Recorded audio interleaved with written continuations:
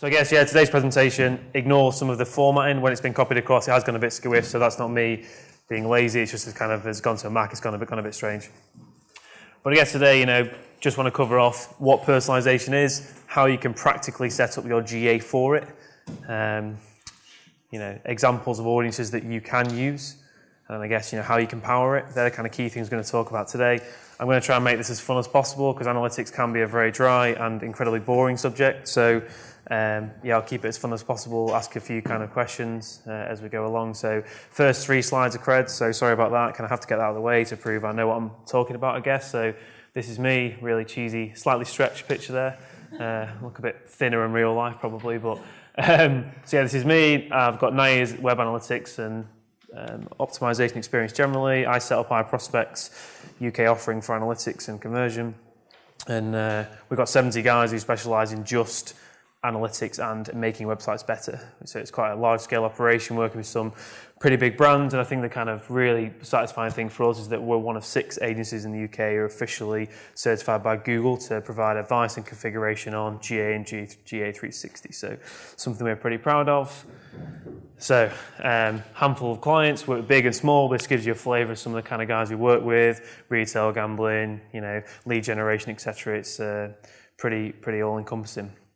So that's the three slides, and that's it. No more creds onto like the good stuff that you guys can take away and nick or copy or whatever, whatever we're all here for. So um, I guess I'd start by just talking about what personalization is or what, what I think it is. I think broadly, you know, using data to identify an individual at the point of interaction and deliver a relevant, addressable message, essentially giving a customer what they want. So I'll talk about the individual in a little bit because I think people get very caught up in one-to-one marketing or we've got to have a one-to-one and I think it's incredibly difficult or in fact impossible to do one-to-one personalization. You need to think about your customers very differently and I'll come and explain that in, in a second as well. But one thing that absolutely drives me bonkers is, isn't the formatting of the slide, that also does drive me bonkers, but um, people get too ahead of themselves with personalization. It's like hearing the word DMP. So many clients come to us and say, we need a DMP or we need to do personalization, but they haven't even got a CRM system, they haven't even like settled their analytics properly, etc. So before you think about personalization in any context, these are three things you need to do. Well, there's four because obviously the analytics part is coming up, but get your website loading as quickly as possible. And don't use Google Page Insights to you know, just tell you what's wrong with your site. There are many, many other tools out there, such as SpeedCurve, GTmetrix, etc., that are good for site speed optimization a lot of clients we see buy a report from Google Insight from another agency, and, and that kind of drives me nuts. But do MVT or A/B testing, get your base level site as good as it can be before you start thinking about personalization. There's no point trying to personalize a website that it hasn't been tested to the nth degree already. And then lastly, do qualitative work. You know, do remote user research, do heat mapping, session replay, because all this stuff fuels a better baseline of a website. So that's kind of the kind of things you need to tick off. So hands up if you've done all of those and you're now ready for personalization. Oh, one guy, brave guy, brave guy, put up his hand. Okay, so personalization is important. You know, there's loads and loads of stats out there, but essentially what this is saying is that, you know, people who offer personalization to me, I come back more, I buy more, I'm engaged more, you know, and we see that a lot of people are frustrated when they don't get what they want from a website. So kind of these stats are from Econsultancy and various reports that kind of uh, I've read or we've contributed towards. But it's not something new. So you obviously know these two websites. You probably all use these websites. These give you obviously relevant content broadly in terms of what you bought previously, what you're more likely to buy. A lot of this is powered by AI and multiple teams of hundreds and hundreds of people. And essentially, we don't have them, you don't have them, you don't have, you know, 200 data scientists lying around to optimize by category like, like Amazon do. So kind of uh, today, I guess, is about practical examples of how you can personalize your site without, you know, employing a 200 strong data science team. So 100% robust data is key. again, something clients just don't understand. They want to jump to the last thing. So um, I guess I'll ask a question now, which hopefully nobody will say yes to. But who here um, uses, well, okay, you say yes. Who here uses GA at some point in a week? Okay, good. You're in the right room. Who, who uses it every day? Okay, same number. And who here is confident in its data accuracy and that it's set up 100% with all the advanced functionality enabled? Well, so again, that's, that's a totally normal response. I mean, it surprised me when I joined iProspect because I thought I'd go there and all these companies would be ready for like the advanced stuff. And you go in some major organizations, even big and small, and the, the shocking things you see in terms of the insight they're using, you know, in terms of hundreds of millions or tens of millions of digital marketing spend, and they're using GA that's, you know, double counting e-commerce. I mean, obviously probably not as bad as that, but that's an example we've seen. A kind of well-known football club in the UK that shall remain nameless was double counting sales online. So when they were looking at return on investment through GA, they were like, everything's great. And obviously when they kind of looked at the bottom line, it was like, this doesn't really match. So kind of we're specialists in making sure the data is right. So I'm going to give you three practical things that we see wrong in every single account that we work with from a client point of view, and then I guess how to fix them. Now you don't have to scribble down the answer. People can have the slides afterwards or come and chat to me, but I guess it's how to find them and then how to fix it. And um, you know, I guess we have a 70-point configuration process and um, ranging from is my date right, you know, kind of really basic stuff, which we see wrong very, very often as well, which is also odd. Um, so you know, we know there's kind of three bits to, to setting up GA to power personalization. So you've got make sure it's right, data hygiene stuff, which I'll talk about. Make sure it's advanced, you know, everything is being captured, that, that should be. And I guess how you think about activating that data. So from a, a robustness point of view, you know, we know it's important because it can distort overall performance of the website, it can distort where your problem pages are, and it can lead to wasted investment, and, and, and will do. So even if you get a, you know, a thousand fake sessions on a particular landing page, that distorts the performance massively and you might not choose to optimize it or you might do and, and obviously you might be starting in the wrong area. So these are the four common mistakes we see. So fake traffic and query parameters are the two big ones. Um, and I guess with the fake traffic, a lot of people think that when they've ticked that box which says, I don't want bots in my GA account, it's done. It, it's not. It's not done. Um, fake traffic changes all the time. You know, from your competitors monitoring your prices, you know, people trying to understand your site speed. These all trigger sessions and, and kind of activation in GA itself. So PI and hostname filters we'll kind of touch on briefly, but fake traffic and query parameters are the two that are kind of the most important. So fake traffic, right? So I don't know if you can all see this or not. Probably not. It's a little bit blurry, but essentially, if you click on the audience bit on the top left-hand side, you then click on network, and if you put a filter on this data saying, I want new sessions, probably the greater than 95%, and bounce rate greater than 95%, that will spit out a number which says, in a month, you've got X hundreds of thousands or tens of thousands or 1,000 fake sessions. And that number will not be zero. I guarantee it for all accounts. So this account here, you can see we obviously put that on if you can see that or not, but essentially it's, it's capturing fake sessions in that account because they, from this exact service provider, they always entering new sessions, they always um, you know, bounce on the site and they, they never have an e-commerce transaction and they're all predominantly from you know, very, very similar cities a lot, a lot of the time. So if you put that on your account, I don't know if anyone's got a laptop open or GA account now that can actually do that, but you will have a percentage of fake sessions. And sometimes it might only be 1%, sometimes it's 10%. And 10% of you know, quite a large e-commerce website is quite a substantial proportion of sessions and can distort the overall numbers. So like I say, people on the slides afterwards, come, come grab me. Um, I, can, I can send them. Are we, Rob, we send these out afterwards? or? Uh, can do, as long as you're happy to, yeah. Yeah, fine. People can, people have this one for free. So fixing it, kind of the, the, the kind of the good bit, I guess why you guys are here. So yes, it's important to go into your view settings, click on please take out known bots. Um, but if you put a filter on there, which essentially filters out the ISP domain and goes back to what it says in these boxes here. So you can see obviously these guys here, one of those is FastHost UK, which essentially is a site speed monitoring tool that one of their competitors was firing um, monitoring um, software which triggered um, their JavaScript, which captures data in the account. So you just need to essentially exclude that, that from the account. Dead simple. So follow this process, exclude bots, go in your filters, make a custom filter, exclude the, either the service provider or kind of the ISP uh, domain of FastHost. So So obviously you can apply that to yours, and once you've figured out what the name of the service provider is, you can then obviously go in and do that yourself. Does that all make sense to everybody? Like I said, I'm trying to keep this bit, I guess, practical. Some of this stuff is a bit more how do you activate personalization, but this is kind of how do I fix the kind of hygiene stuff. So another interesting one, which again clients don't seem to understand, this might distort the data, is query parameters. Now this doesn't need any kind of development change. A lot of people think, oh, we need to go and beat IT over the head because they're terrible and they're making all these things wrong with the website. Essentially, query parameters are things that the website adds to, to make the page look different. So you'll see in this example here, each one of these is, is a slightly different campaign that someone's come in at, the page they've come through at, etc. But all these are pretty much exactly the same page.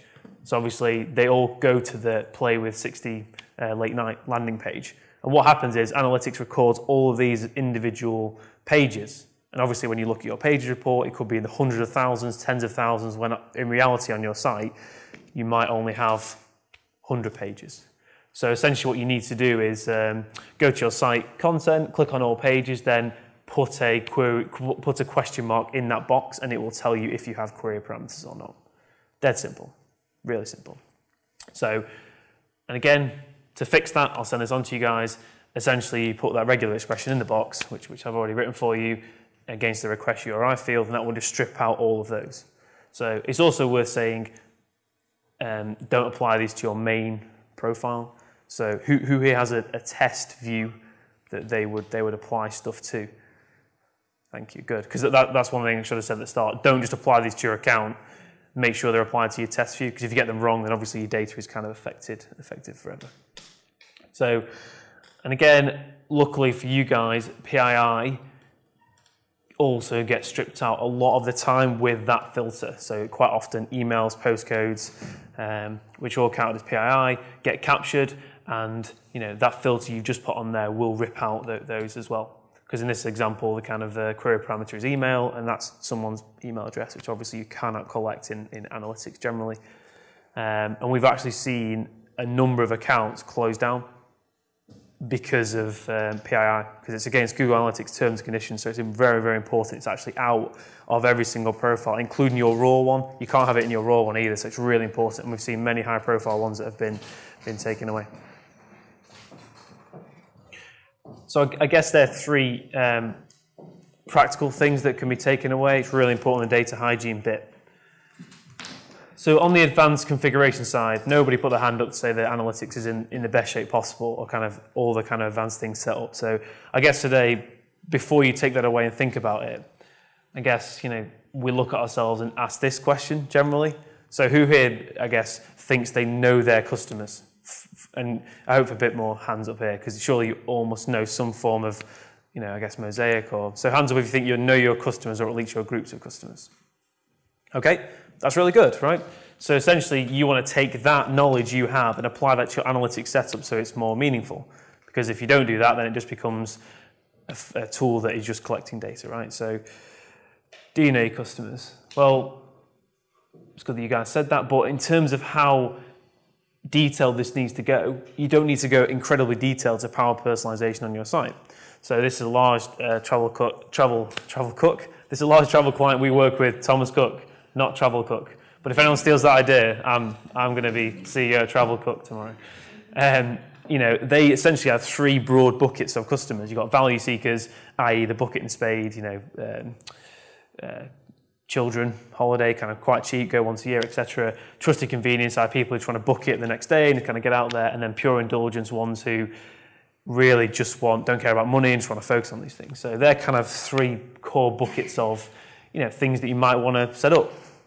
So obviously, you know, the kind of triggers on the site that they have are you know, hotel high to low, uh, pricing, the, the location they're going to, you know, how frequently they visit the site, whether they've got kids or not, all these kind of things that allow you to kind of start creating buckets of customers within your analytics account. So you can go really detailed though.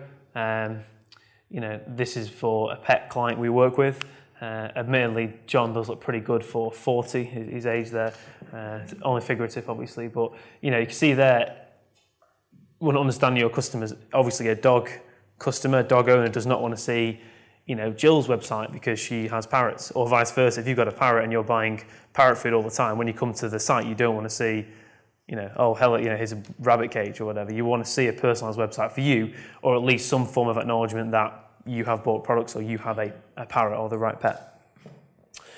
So once you've understand your customers, you can start to apply some of these more practical things in the account. So these have been around for quite a while, and I guess you might hear people talking about them generally, but they're really, really important. And these are part of GA3 or you know Universal Analytics. You don't have to buy the enterprise version of Analytics to start capturing some of this stuff. Um, so more practical things are custom dimensions, which I'll talk about in a minute, full enhanced e-commerce setup. And what's really important is, is anyone here like a lead generation site? Okay. So you can use enhanced e-commerce for lead generation. So just because you're a lead generation site doesn't mean you can't not do enhanced e-commerce. So it's quite interesting some of the stuff we've done for a lot of our clients. So who knows what this is? I wish I had a prize to say there's a prize to give out. Who knows what this is? Okay, it's close. I'm thinking of a, a specific name for the, the, thing you would put in to activate custom dimensions and uh, enhanced e-commerce. What's that? Script. Okay, close. Oh, ignore the formatting again. Um, but this is called a, a data layer, which goes into your site. It's a piece of script which allows you to rip out all this great information on what customers do in your site. And, and again, as a percentage of customers we work with, I'd say less than 7% actually implement one of these properly or have one of these at all. And this is a really simple thing, you know, whether you use an agency or not, go to Google support section and you can essentially pretty much download a Google specific data layer. Um, and obviously kind of you might a bit of help to implement that, whether that's with an agency or your development team. But essentially, having a data layer there for insight is step one in terms of getting the advanced insight. Because for an e-commerce site, this will allow you to grab out things like have they sorted high to low, how you know what's the click-through rate for a certain type of products, do um, do customers who had red shoes abandon more than blue trousers or you know whatever your kind of products are. That's this fundamental step one for it. It's really, really simple to actually kind of do and start as a process generally. So, but getting this in allows you to kind of get more insight on your customers. So, whatever they submit online or whatever kind of third party API stuff you can get in, it's uh, really interesting. So, a lot of our clients, we look at kind of the gender they are, whether they've already submitted a lead or not, the products they've bought before, whether they've got a lead ID, logged in, logged out, what type of products they view, and then kind of branching out more into advanced things like plugging in weather, so like the location they are and the weather they see. We work for a kind of a um, an outdoor company, if you want to call that, and essentially we, we push different types of products to them depending on the weather they're seeing right now in that specific location. Because even in the UK, you obviously got kind of a Manchester weather, which is probably always raining. Maybe you don't need to do this for Manchester, but uh, you know, it might be different kind of locations, or you know, plugging in weather from where they're going to, if they're kind of you know looking at festival uh, tents, etc. So quite interesting. But obviously, each of these is bespoke for your business. I've given you kind of some ideas, some ideas there generally. But enhanced e-commerce again is kind of really, really important. And I guess the reason why I'm talking about setting all of these up because you can use a lot of these to create your audiences um, and start to practically personalize the site with a new piece of, of kit that's just been released.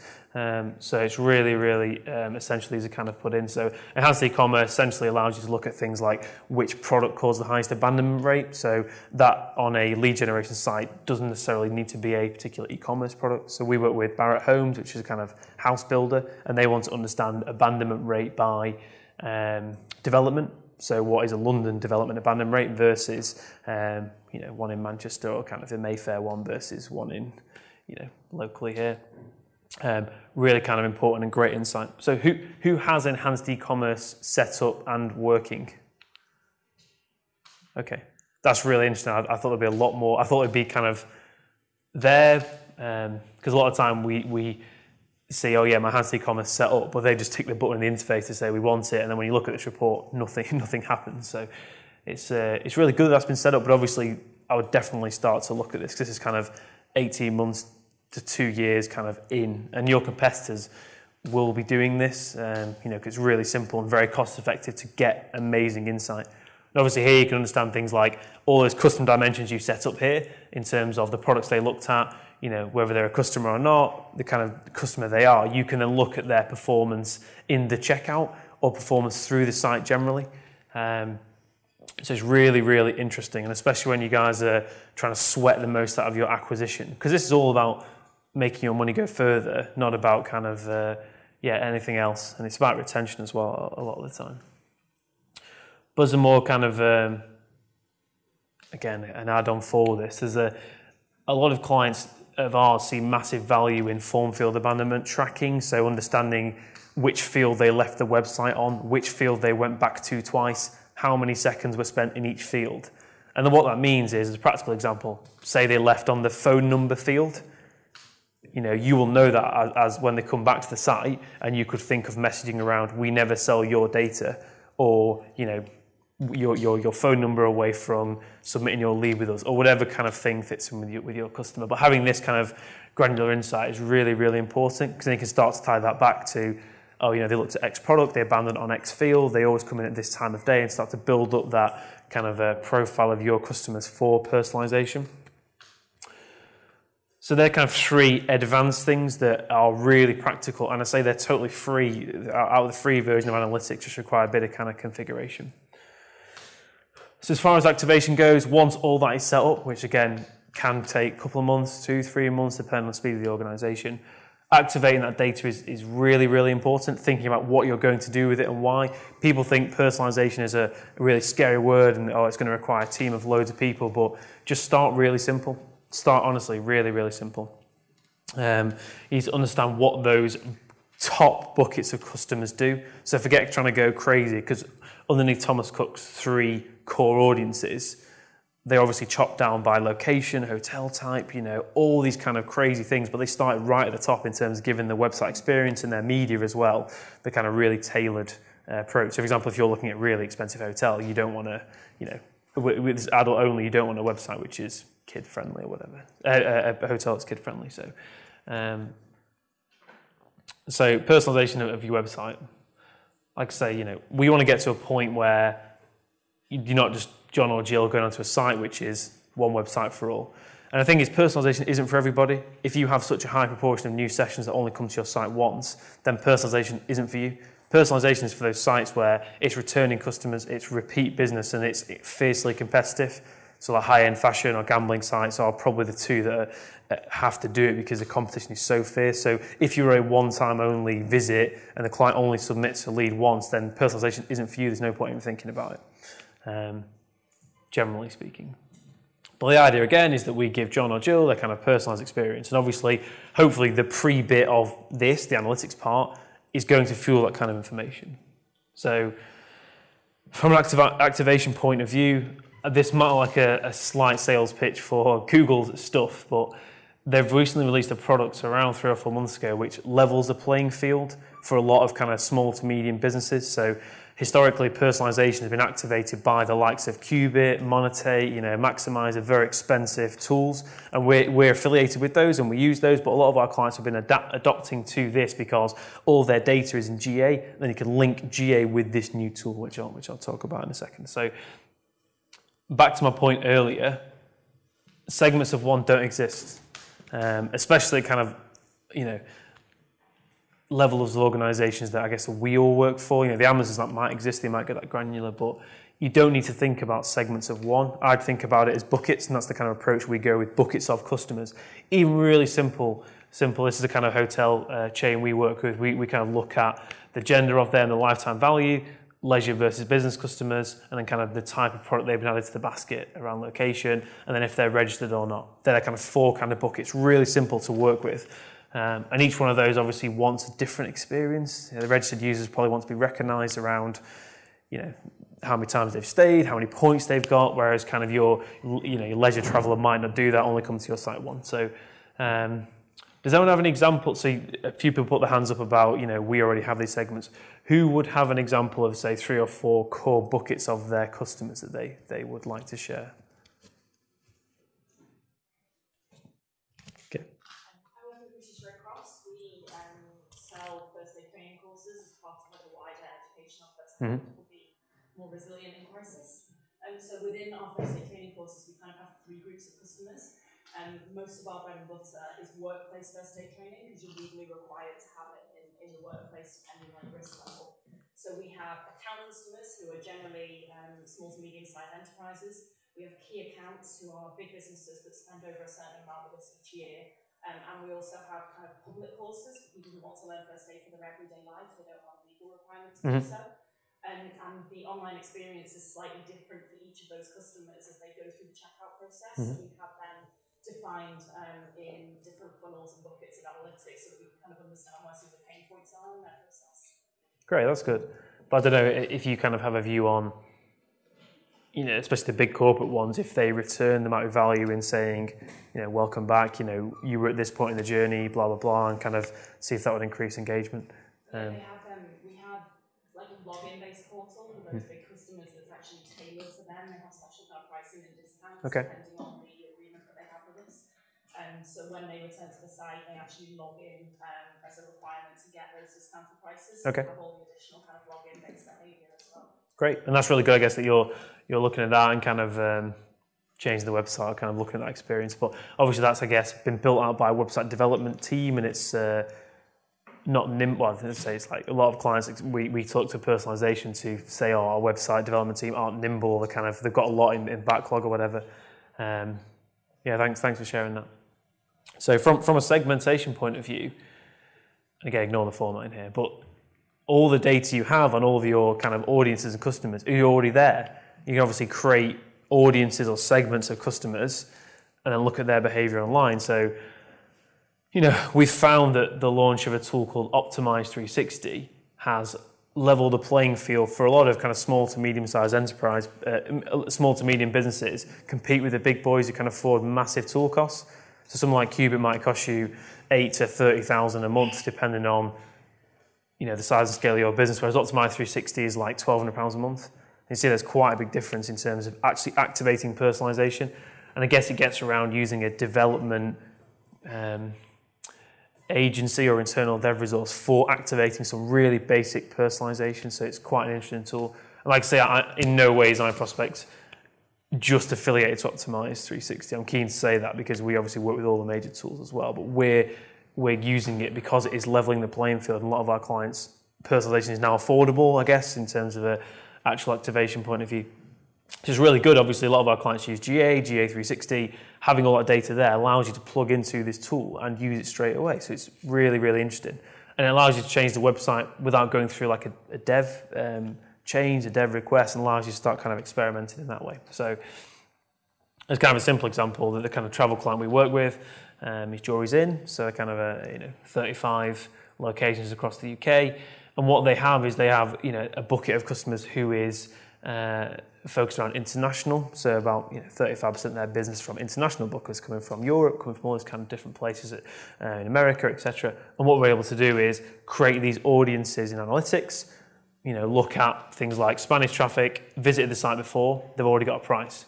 So when they come back to the site, they don't probably don't want to see that kind of experience because you know the hotel they're staying at, you know the price, you know the kind of duration of their stay. So what we kind of trial with Optimize 360 is putting a message up there which you can't see very well, but essentially it says in Spanish, over 3,000 people from Spain book with us each month at Jurys Inn. So it kind of gives them that confirmation that other Spanish nationals, um, and we have the same with like Americas and other kind of things. And obviously the kind of personalization is really simple, and it also like um, pre-populated their hotel that they searched for previously, etc., etc. So um, the engagement between analytics and Optimize 360 was actually really good because it kind of links seamlessly rather than you kind of taking out and putting into Qubit or kind of a different type of tool. So it's actually quite interesting. And yeah, results wise, you know, obviously everyone would expect this, but kind of reduction in bounce rate, improvement in conversion rate, and a plus uh, 5% in AOV. Um, and obviously through the tool, it's kind of run permanently, so it doesn't need to be kind of coded out. So it's quite an interesting, um, interesting bit, bit of technology that, that we've got here. So I guess making a personalization a reality. So there's kind of three core bits. Get the data right, including data hygiene and all the advanced stuff. Um, and I'd do that straight away because, like I say, it's free, really cost effective versus kind of marketing spend as well.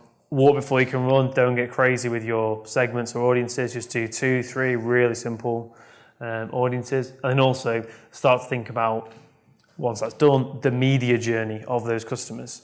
Because again, from a you know a Google Analytics point of view, you can plug audiences into your, your bidding platforms to tailor the messaging. So the display advert the customer sees, the PPC advert the customer sees, and then obviously the website they then see all of it kind of links together. So once you've got those basic bits of personalization, think about the communication across different touch points. So um, in the Thomas Cook example, rather than showing them a generic Thomas Cook ad, we would show them a display advert that was specific for, for the pure indulgence audience, a luxury hotel, or kind of treat yourself, indulge yourself. And then when you got back to the site, you then show them a consistent message around indulgence, high quality, and obviously that kind of really improves engagement of um, retention and also lowers media costs and acquisition costs, generally speaking. So um, that's the end. Thank you so much for listening. Hopefully that was practical and also a bit kind of strategy stuff. So uh,